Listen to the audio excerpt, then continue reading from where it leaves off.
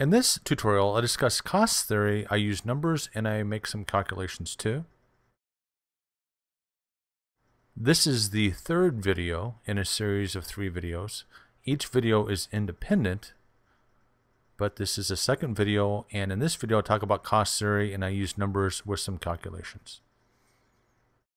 Let me put in a graph and some numbers. First I'm going to plot quantity right there and a variable cost. And the variable cost curve looks something like that. I have fixed cost, and it's a flat line. There it is. And total fixed cost, which is the brown curve right there. It turns out the variable cost plus fixed cost is equal to total cost. If I take that distance there, which is 90, and I move that straight up, that distance there between those two curves, or those two lines, is also 90.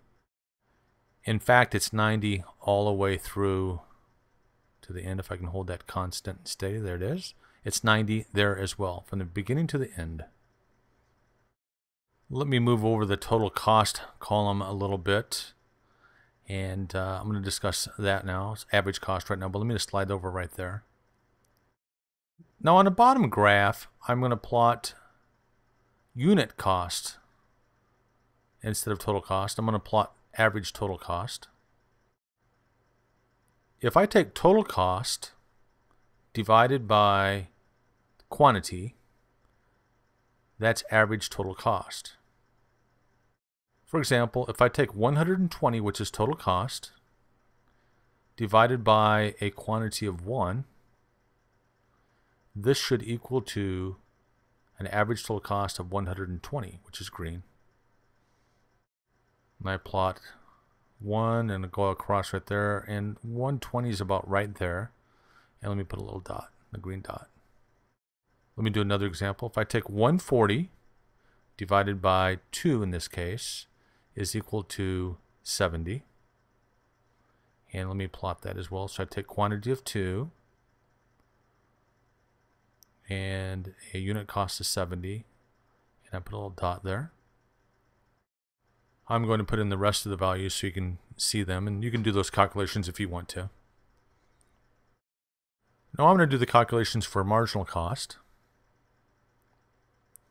Again, let me move that over so it's right next to what I'm using. Marginal cost is a little different. So if I take an output of 1 and I increase it to 2, what happens is I have a change in quantity and I have a change in total cost. And a change in total cost divided by a change in quantity is marginal cost. So I'm going to do the uh, calculation for you here. So I'll take 140 minus 120 and divide that by 2 minus 1. If I take total cost, which is 140 minus 120, which is the change in total cost, divided by the change in quantity, which is 2 minus 1, is marginal cost. I am taking the change in total cost divided by the change in quantity. This is equal to 20 divided by 1, which is equal to 20, and this is my marginal cost.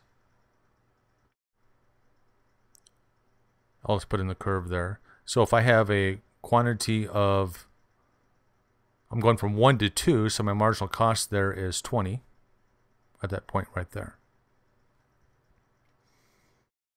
I'm going to do another example for you. I'm going to go from uh, 4 to 5, and it gives me the marginal cost from going to 4 to 5, which is 20 again, coincidentally. I'm going to make that calculation. I'm going to take the change in total cost divided by the change in quantity. So I'm going to take 190 minus 170 divided by 5 minus 4. Change in total cost divided by change in quantity.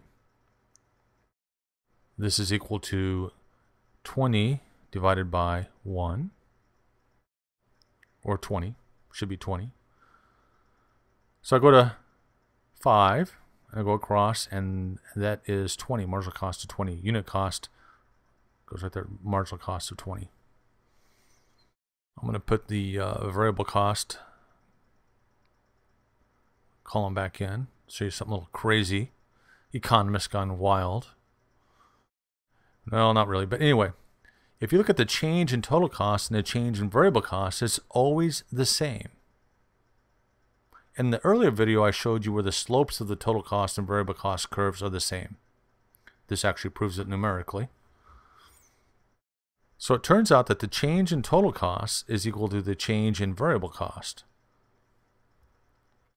So the change in total cost divided by the change in quantity is equal to the change in variable cost divided by the change in quantity.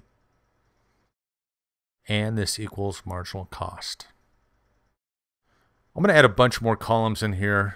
Quantity, variable cost, fixed cost, total cost, marginal cost, average variable cost.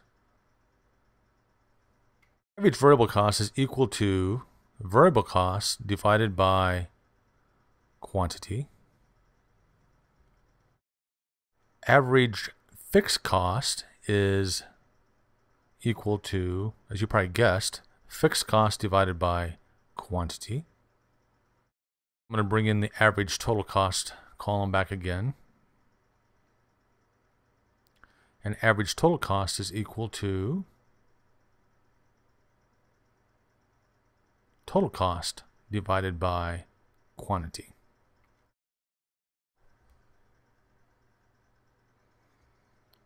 So now I'm going to talk about these relationships between these columns. So average variable cost plus average fixed cost is equal to average total cost. And you can see that if you go across the columns 20 plus 18 is equal to 38. It gets a little messy to graph all these columns, but let me just show you what that looks like. I'm going to draw in the average curve, average total cost curve. The average variable cost curve looks something like that. Marginal cost curve looks something like this blue line. And average fixed cost looks like that. So you can kind of see what those look like. If you haven't watched the first video in this series, I would encourage you to do so. And this would make more sense to you as well. What's up next is the calculus proof, and I know all of you have been waiting for this, but it's a calculus proof of what we've been discussing.